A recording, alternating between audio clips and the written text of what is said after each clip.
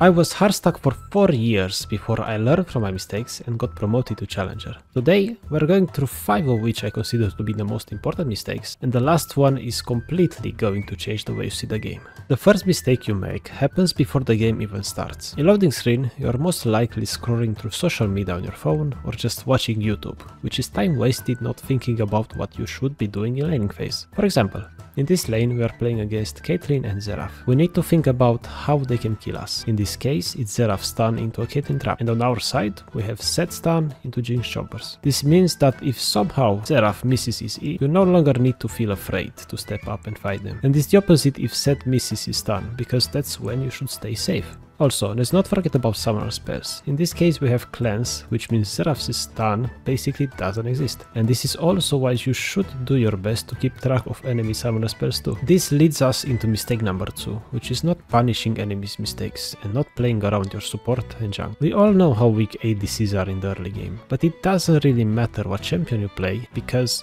Enemies constantly make mistakes, and it's your job to punish them. Here we have a situation where Xerath uses his stun on our support, which means we are now stronger and we should follow up.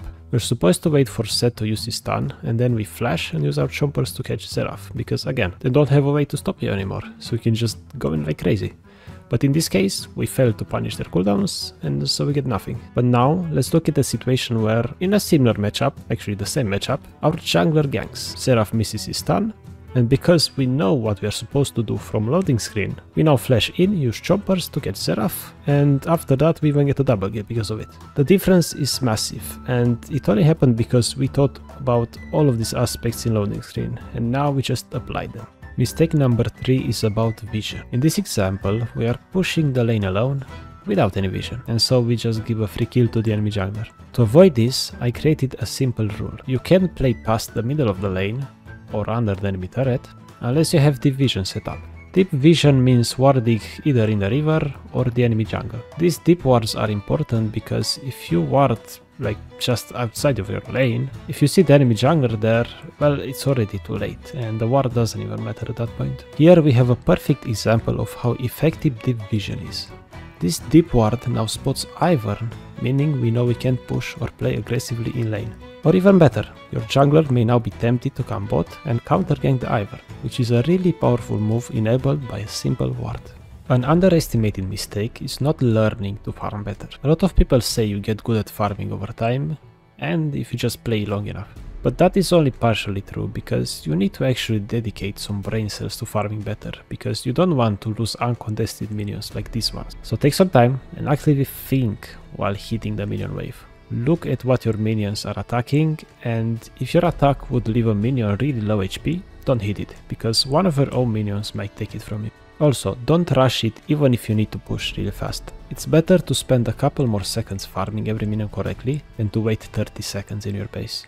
I also plan to make a more in-depth video on this topic, so make sure you're subscribed to the channel so you don't miss it. These tips were mostly for early game, but this one is more general and more about mid to late game, and it's called playing with your teammates.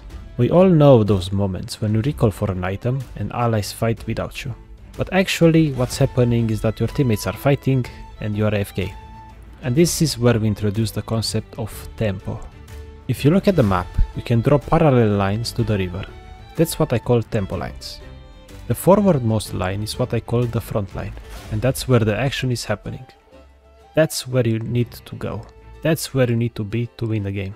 In this example, I see that two of my allies are recalling, which puts them off the front line, meaning we are playing 3v5. This is when I should be backing off and waiting for my team, but because I don't realize that, I get caught and I die for no reason. The opposite happens when you decide to recall for an item and your team starts a fight.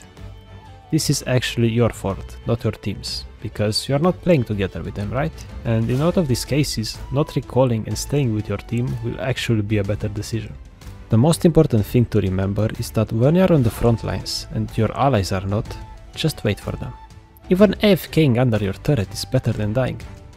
And when your team is on the front line and you are not, you need to get there instantly. Don't should even dare about farming jungle camps along the way. Just just get there. Be part of the game. Even a few seconds can make the difference. You need to remember that a mistake is usually made multiple times per game. So even if you fix just one of them, you will improve a lot. Also, I'm aware that there are more mistakes to cover, so maybe we do a part 2 video someday. See you next time.